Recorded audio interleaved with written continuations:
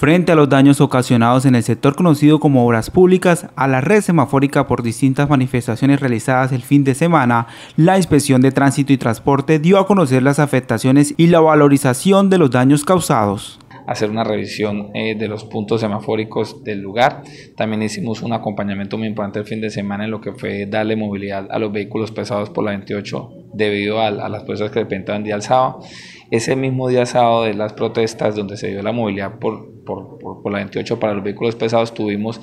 el daño de, la red semafórica de esa intersección de obras públicas como lo conocen. Se hizo una evaluación de daños eh, en donde se estimó más de 100 millones de pesos los daños que la tarjeta eh, de potencia, la tarjeta como tal de programación de los semáforos, las luces de los semáforos, las carcasas de lo que es lo, que contempla la red semafórica.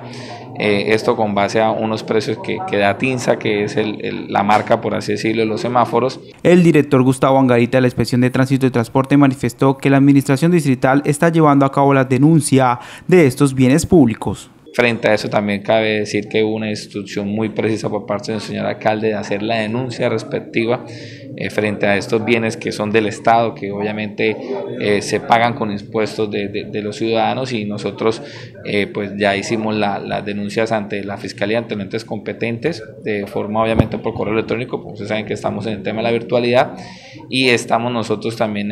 ya revisando completamente para mirar la posibilidad de cómo nosotros de una forma rápida restablecemos ese, ese punto que es muy neurálgico porque pues pasan los vehículos pesados. La inspección de tránsito espera intervenir y arreglar estos semáforos de esta intersección vial debido a que es una arteria principal de la ciudad.